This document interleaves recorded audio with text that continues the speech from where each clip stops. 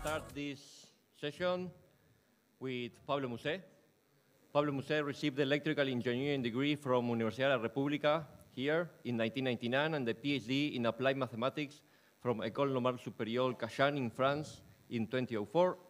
From 2005 and 2006, sorry, he was a senior researcher with Cognitech in Pasadena, California, where he worked in computer vision and image processing applications. In 2006 and 2007, he was a postdoctoral scholar with the Seismology, Seismological Laboratory in California Institute of Technology, Pasadena, working on remote sensing using optical imaging, radar, and GPS networks. Since 2008, he has been with the Division of Electrical Engineering here at Universidad República, where he's in currently in a full professor of signal processing. His research, research interests include machine learning, image restoration and image analysis, computational photography, and remote sensing. Please welcome Pablo. Hi. Thank you. Uh, I'm very happy to be here, and I can't. Uh, I, uh, um, I would like to say thanks to my colleagues with whom I organized this, this event. Uh, I think everybody's happy uh, up to now, so it's perfect. So before starting with my presentation, I'm going to say a few words about the department where we work because because of, of, of schedule problems, we, we couldn't present. Uh, yes. So Uh, we are at the signal processing department uh, within the Instituto of uh, de Ingeniería Eléctrica at Facultad de Ingeniería here. Uh, this is where we are now, and our uh, department is here, so if you want to stop by, are, you're welcome. in this institute, we are five departments uh, power system, telecommunication, controls and system, electronics, and signal processing. And uh, we work on many different things. It's a pretty large uh, institute, so uh, but we people in, uh, in signal processing, we work mainly on image processing, on biomedicine, on audio processing, and on machine learning. Now, our department uh, is composed by 20 professors, we have nine PhD and five masters. Uh, this is the this is the, the applications we work on. Signal processing, audio, image, video, pattern recognition, deep learning, computer vision, information theory, and uh, the application fields are uh, typically uh, ag uh, agriculture, biomedicine, anomaly detection, energy, uh, music, remote sensing, digital restoration, and some others.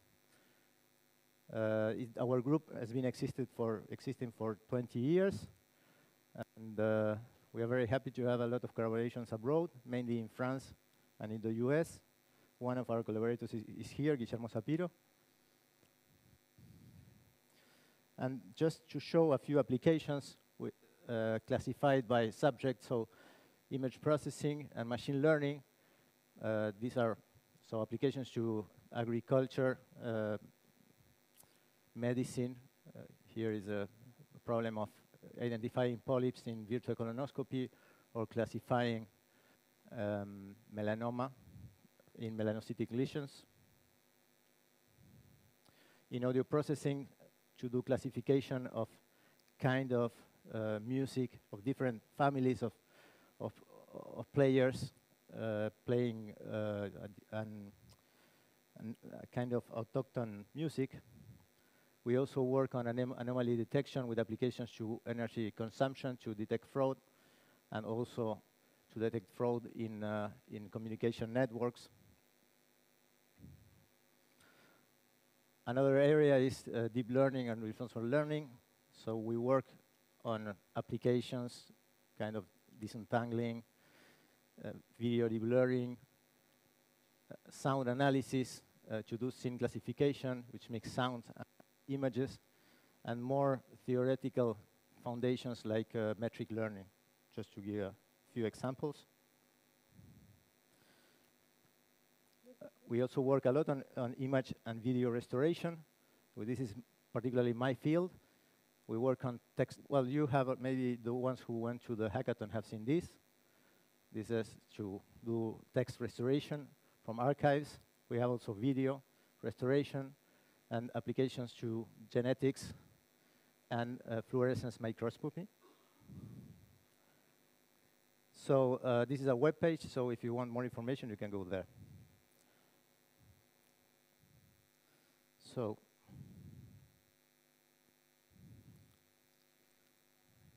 ¿Eh? Ah. ¿Cómo, cómo hago? Ah.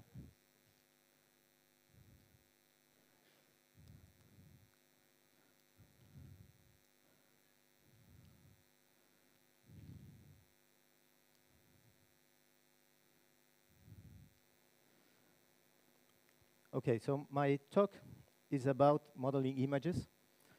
Uh, natural images is a little bit uh, ambitious.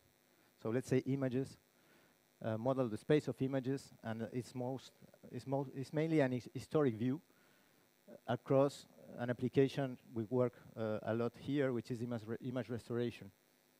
So we're going to see how the image models can be fit into can be fed into an image restoration method, and we will see with this uh, excuse, we're going to see the evolution of image models, a historic evolution. So I'm going to start by presenting some, some common problems in image restoration. So uh, this is denoising. This is the most explored problem, and people are still working a lot on this problem. Uh, so whether you have uh, medical images or satellite images or astronomic, astronomical images or photography, images always contain noise because of the acquisition process, which is usually it's a counting process, so there's a Poisson process there. And also there are other kind of noises such as thermal noise, which is modeled like Gaussian, as, as a Gaussian noise. So in order to retrieve what we would like to measure from what uh, really captures the device, we, we need to remove that noise. This is another uh, real image from uh, fluorescence micro microscopy. In fluorescence micro microscopy, to, to have a good focus is really, is a really difficult, is really difficult to, to adjust. So this is the kind of images we have, these blurry images, and we need to deblur them or deconvolve them. And for that, we can use, for example, the information about the acquisition device, about the microscope. This is a very classic problem, which is tomography. In tomography, the goal is to reconstruct the image from a set of Fourier coefficients, a, a sparse set of Fourier, co Fourier coefficients. This is another, and, and, there's noise involved too, so this is another restoration problem. Another problem, which is very important, but it's usually not, not as much, much addressed as the other ones, is uh, image decompression in the presence of noise. So this is very important in satellite imaging. So the problem is, is, uh, is that we have an image which is contaminated by noise, and then the image is compressed. So I don't know if we managed to see this. This is the the residual between the original image and the, the one which is noisy and compressed, and maybe you can see some structure. It's not pure white noise. And this is assumed here. So what happens is when the noise is, is such that makes a wavelet coefficient of the original image jump from a quantization interval to another, then we have like these small wavelets like shapes that appear. But if the image is already is, is very large already, and all coefficients start jumping, what we have is a kind of white noise. And the challenge here is that the noise varies within the image because this, this compression doesn't, uh, doesn't give the same number of, of bytes to each region. So this factor of the quantization over the noise varies within the image. So this is this image contrasted in order to see better what is the effect of noise and quantization. So they are intertwined, and that makes the problem a little bit difficult.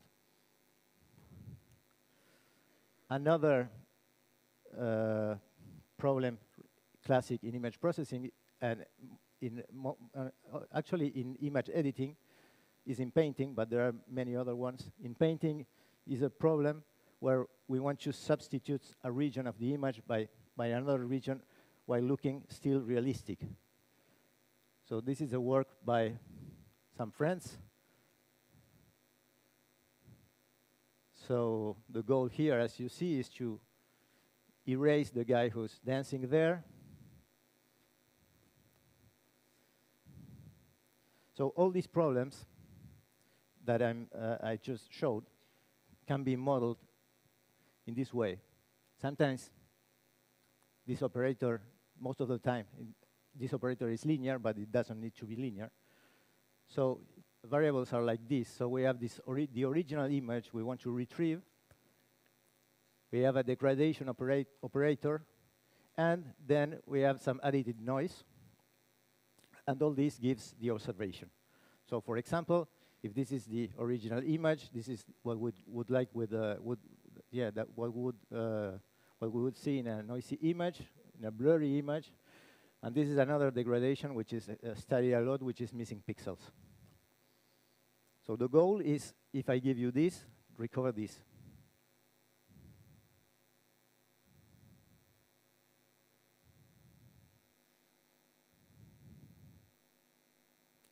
So uh, let's begin with this inverse problem. So the most simple thing, the first thing that comes to mind uh, is to compute to infer the, the, the, to do estimate the original image by uh, least squares.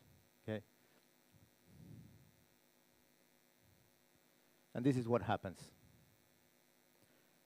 The problem here is, is the, uh, this, these, uh, these inverse problems are imposed. Otherwise, the problem wouldn't be interesting. So when you compute the pseudo, pseudo inverse, you are dividing by zero, let's say, because of the, uh, these eigenvalues that are that are zero, close to zero. So another possibility is do Tikhonov regularization, which is a very simple thing that you've already seen, I, I guess, in, in, in, numerical calculus.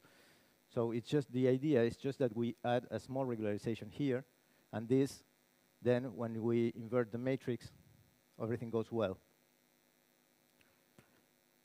So this happens because we added a penalization on the norm of the solution.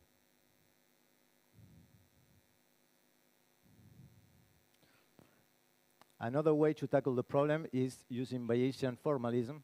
And uh, this slide is just to show that these approaches in imaging have been used from a, for a long time.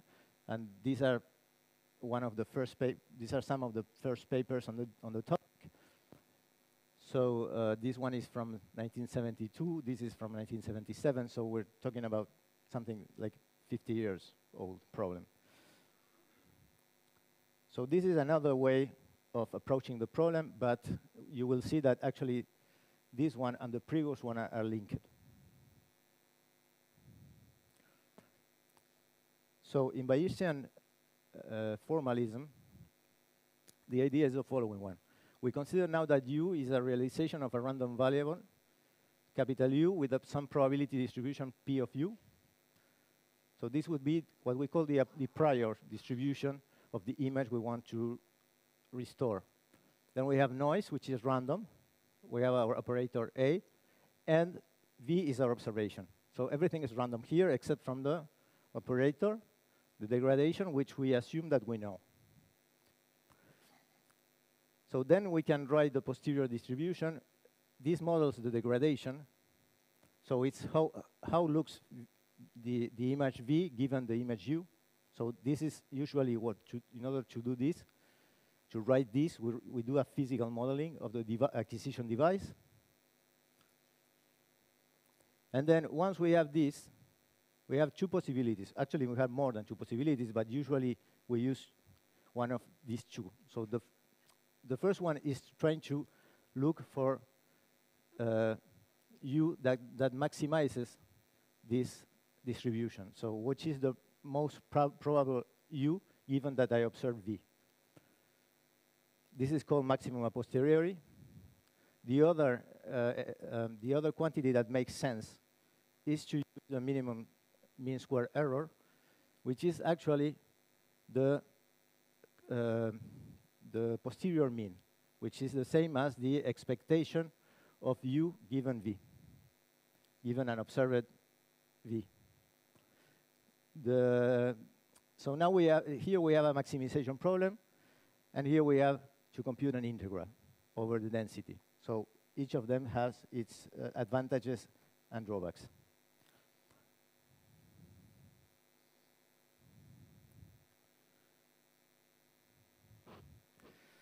So as I told you, there's a, there's a link between both uh, formulations, actually. If we compute the map estimator, we can write it this way. So uh, we take the minus log, and these two things split, and we have a minimization problem. When we have this term, this is log, mi minus log of p of v given u, which is called the data fidelity term.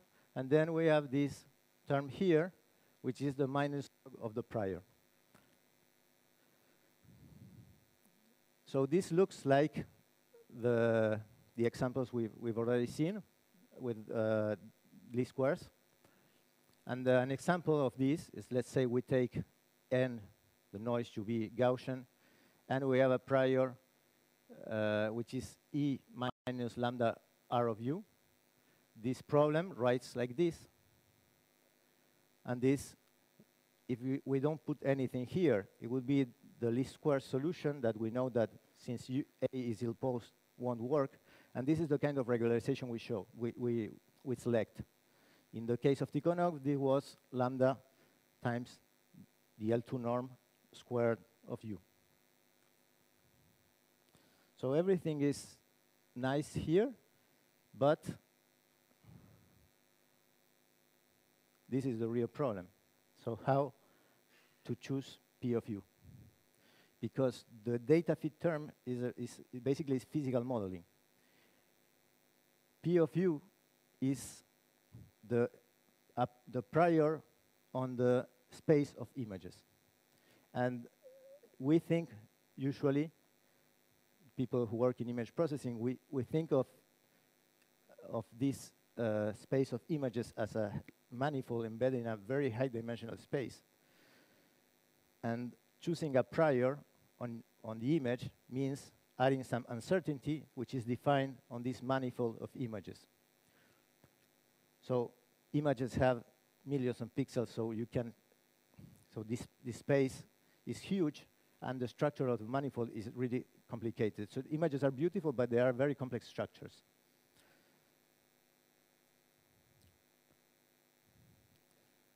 So now I'm going to talk about global image models. And let's start simple. So the, these early models from the 70s consist, for example, in using Gaussian priors. This was very typical. In the case of Gaussians, the, if, the, if the noise is also Gaussian, the map is the same as, as the mean squared error of the reconstruction. So and this has a, these are two Gaussians, a product of Gaussians, so we have an explicit formula for the, the estimator, which writes like this. But if you think of that, this, this model is, is, is too simple. Images are too complicated to be modeled like, for, like a, by a Gaussian distribution. So it doesn't make much sense.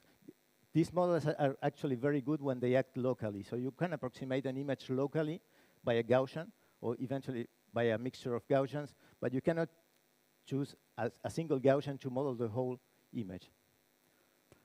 So another approach to be more local uh, that was used a lot, uh, and this was a very important paper by Geman and Geman, was to use Markov random fields. Because by means of this Gibbs prior, we can select cliques and, and do local and, and, model local dependencies that then by the Markov property, they, they repercute to, to the rest of the image. The problem with this is, on one side, that the computation of the map is, is really computer, co computer intense, computational intensity because we, used to, we need to do sampling met methods in these spaces using, for instance, Metropolis, so the convergence is slow. The other problem, too, is that, OK, this is a much, is a little bit richer model, but still is too simple to model images.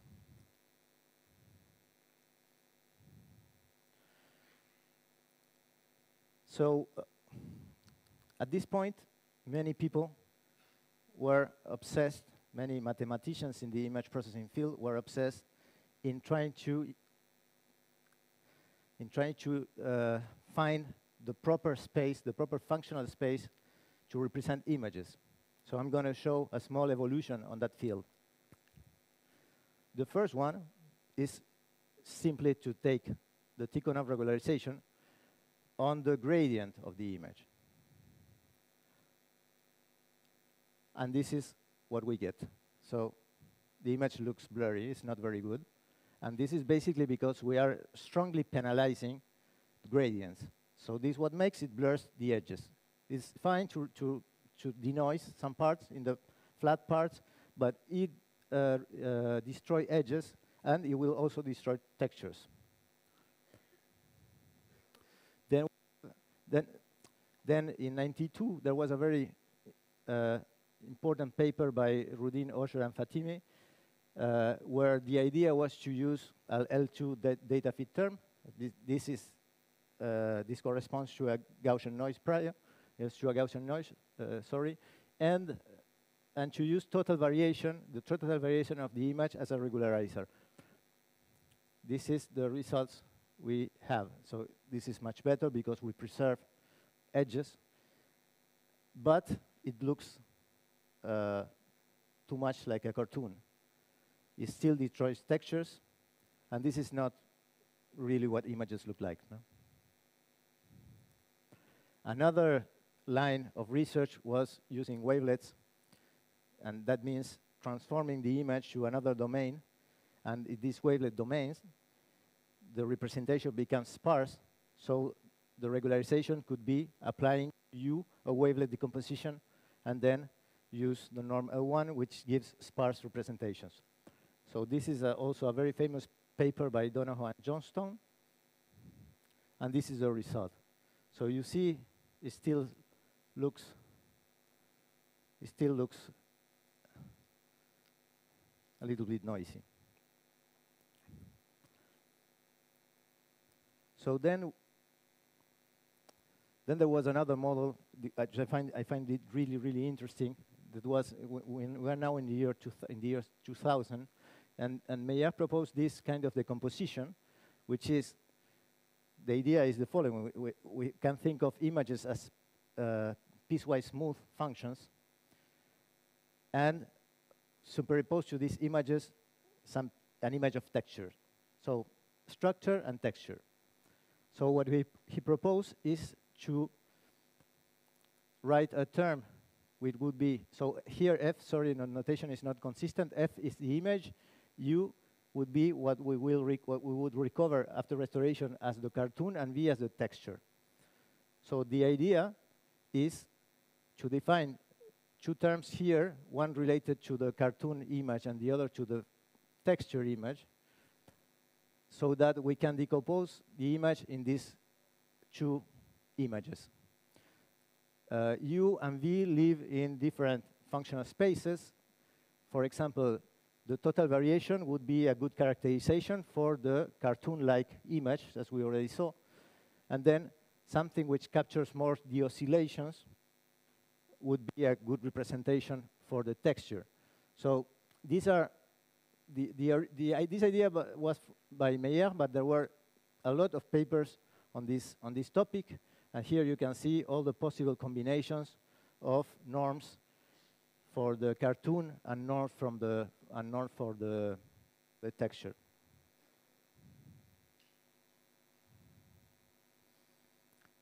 So this is this is the result we get. So you see there's a good separation. Sorry. So we see there's, there's a good separation between texture and uh, structure. So now I come back to this uh, story of the map and the posterior mean. We usually use map, uh, those working in variational problems. But actually, if you look at this distribution, what do you think is a better characterization if you have to summarize everything with one value? The map or the, or the conditional expectation, or the posterior? I would think, I would think the map, the, the, the, the mean posterior is a better representation here. As I said before, these approaches go by different ways. Finding the maximum posteriori has to do with a, an optimization procedure, and finding the MMSE has to do with computing integrals in very high dimensional spaces. So let's see what happens when we replace the map by the posterior mean. So we have this integral here over the image space, n is the number of pixels. And this is the conditional expectation of u given the observation v. There's a, a very nice work by Louchet and Moisan, and later by Abergel and Moisan, uh, which consists in taking the uh, TVL2 model by by Osher and uh, by Rudin Osher and Fatemi, and instead of finding the maximum a posteriori, finding the uh, MMSE. These are two versions of the method. Uh, the, the, the, one here used to compute this expectation by doing sampling, uh, MCMC sampling. The conversions was very slow. Then they came up with a method, which is very, very clever method, which where each pixel is updated uh, one at a time, and it's updated by conditioning to the rest of the pixels in the image. So that way, it's a sequence of computations of one-dimensional integrals. So it becomes a lot, uh, much more tractable. So this is uh, the kind of result we get when we replace the map, which would be this. This would be the classical restoration using the Rudin-Osher-Fatemi approach. And this would be when we replace the map here by the mean. So you see this is a much better restoration. It removes noise, and it keeps the, stru the structure much more than the, the classic map approach. I, I talk about global uh, models for images. Now I'm going to jump to what people do more now, which is modeling images locally using patches. So little squares of images within the image. So this is what patch-based, the, the, fundamental idea of patch-based method is to restrict the, restora the restoration problem to a patch. And then to apply the, the subpart of the degradation operator to that patch. So it's the same, more or less the same problem, but now we're working on small images. If you remember, I told you that choosing global priors was very difficult. And saying that an image is, follows a Gaussian distribution is, is, is, too, is too much a simple model to be realistic. But if we restrict ourselves to small images, then the things, things may work. So this is what happens here. So we're going to work on these very small problems. And the method, the idea would be we extract patches, and we can now see these patches in a space of, of dimension, the number, the, the size of the patch.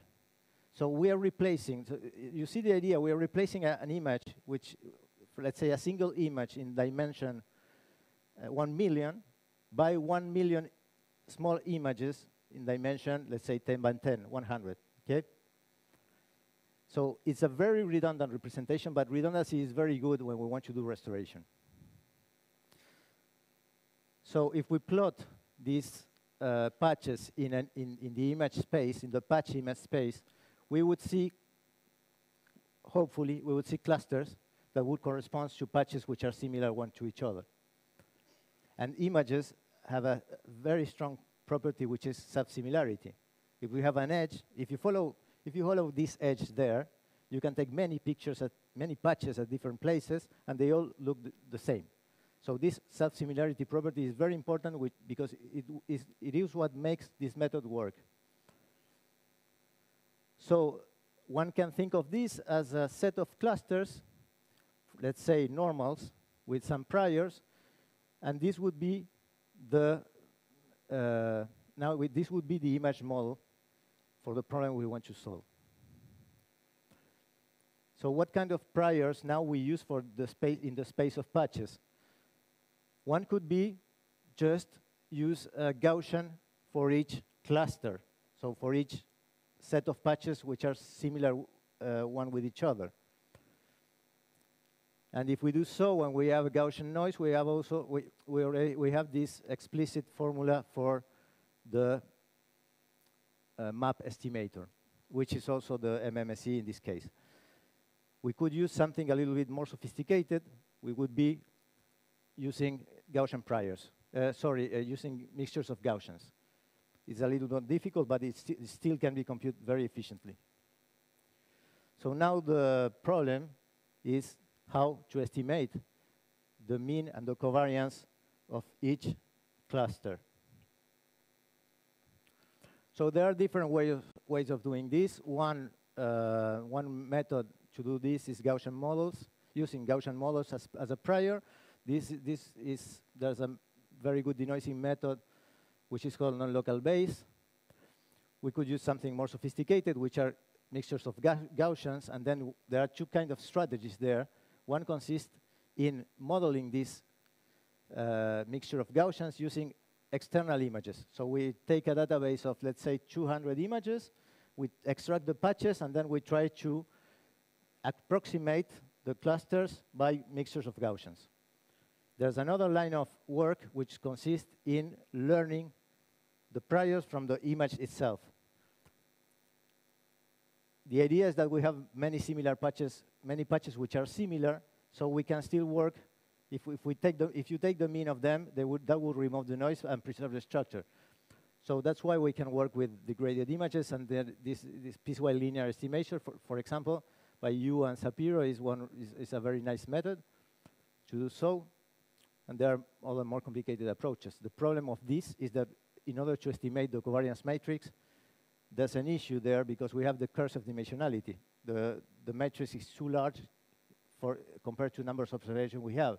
So we usually have, uh, Ill, Ill, these matrices tend to be ill-conditioned, and to do the restoration, we, do, we need to compute inverses. So there we have a problem. But there are some workarounds that I won't discuss here. So this is what uh, this is the progress uh, in, in image restoration. So we have, this is the original image, a noisy image with Gaussian noise. This is wavelet denoising. You see like little structures here. 92.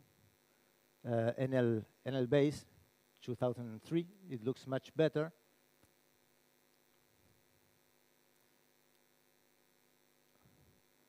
Uh, this is another method. You see, it becomes a little bit, it, NL Bayes destroys the textures here, but here you see that it preserves better the texture. So now, but and this method is, is very recent, it's from last year. So there's a progress there, but now came the neural networks. So what is a neural network? A convolutional neural network is just a function, a parametric function of many parameters from an input to an output. If you have a set, if we have a set of n independent uh, random variables, we use uh, these training sets to minimize this. Sorry. And what is this? This is just the conditional expectation given the observation. So there we have the other estimator. So let me show some progress in this field. So this was the noisy image. This was the best denoiser we had at, uh, from the ones I showed here. And these are denoisers uh, by convolutional neural networks. So you see the results are, are much better. There are still some problems because the texture here is better preserved than the one here. So it's not perfect, but it's doing quite good. I'm going to jump this. This is a method uh, to denoise videos. So uh, I'm going to talk about two approaches here uh, for uh, uh, neural network approaches. One of them, which is very popular, is called plug-and-play methods. The idea is to use, to decompose the problem using a variable splitting optimization technique, like ADMM, for example. In that way, we can separate using a slack variable, we can separate a minimization in U and a minimization in, in, in the other variable, in the dual variable, and uh, while maintaining the other one fixed. So this is, this is pretty easy to do. And the assumption here is that this proximal operator will be replaced by a convolutional neural network.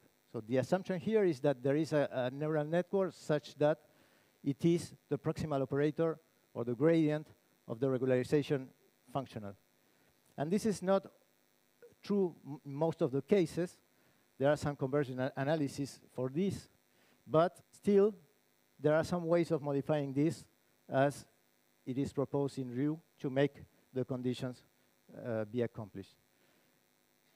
This is an example for the joint denoising and decompression I, I, uh, problem I mentioned you a few slides ago. So you see the results are, are pretty good. Then there's another whole of, there's another family uh, of methods which consist on using implicit priors using generative models like uh, GANs or, or VAEs. Um, there, for example, the, the, the approach here is to compute the latent variable z by optimizing this function here. And here, G of Z is the gener generative model, for example, with a GAN. So there's a prior here, the, the, the, let's say a prior which is defined on the data fit term. So it's like a geometric prior. This is very difficult to optimize. It gives a map estimator of this form. This is highly non-convex, and we don't have uh, guarantees of, uh, of convergence. Usually it gets stuck in local minima. So I'm going to describe this method. This is a method that uh, Mario Gonzalez is working on, on his uh, PhD thesis, and he had a poster today on that. But the idea is to optimize jointly in the image space and in the latent space. And then we get a much more simple formulation, and we have convergence guarantees. So I'm going to show some results comparing the two approaches. So this is for the problem of inpainting. This is, are the this is the data, this is the noise. This, sorry, this is the the, some pixels that we keep, 20% of the pixels, and then this is what restores the algorithm, uh, the first one I showed by Bora. This is what we get, and this would be the perfect reconstruction using encoder-decoder. And this is same for compressed sensing. So this is Bora, and this is SARS, and this is uh, encoding-decoding. So this is a compar comparison of MSE versus of our method versus the previous one, and there you see that we do much better. Uh, so I'm, I'm finishing here. Thank you.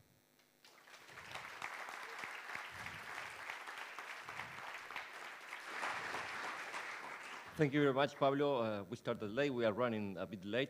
We have time for half a question. Any question for Pablo? Perfect.